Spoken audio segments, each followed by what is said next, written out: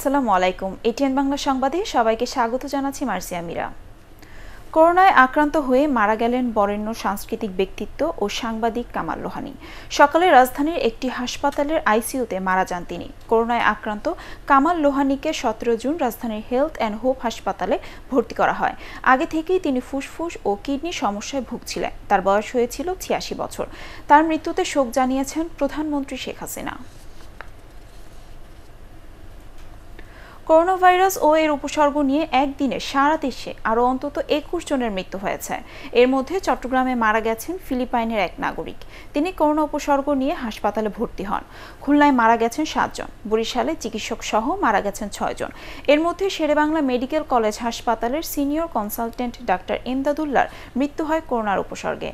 করোনায় আক্রান্ত দুইজন মারা গেছে ঝালকাঠি ও পটুয়াখালীতে। যশোরে উপসর্গ নিয়ে দুজন, নারায়ণগঞ্জে একজন, মেহেরপুরে একজন এবং ময়মনসিংহে দুজন মারা গেছেন।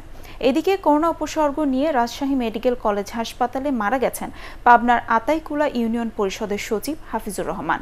সংক্রমণ বাড়ায় কুমিল্লা সিটি কর্পোরেশনের তিন, দশ, বারো, তেরো নং ওয়ার্ড লকডাউন করা হয়েছে। গতরাত বারোটা থেকে শুরু হওয়া লকডাউন চলবে তিন জুলাই পর্যন্ত।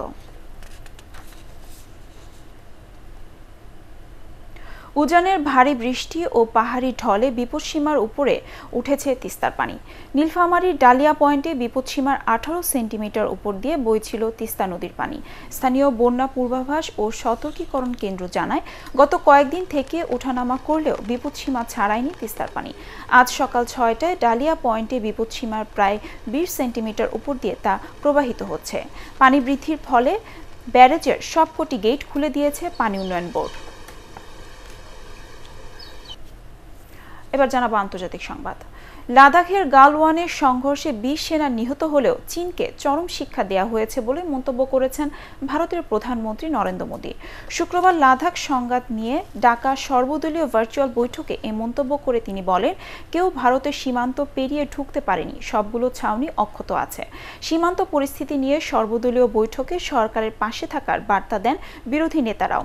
ভার্চুয়াল এ বৈঠকে কংগ্রেস সভানেত্রী সোনিয়া গান্ধী, পশ্চিমবঙ্গের মুখ্যমন্ত্রী মমতা ব্যানার্জি সহ বিভিন্ন দলের নেতারা অংশ নেন।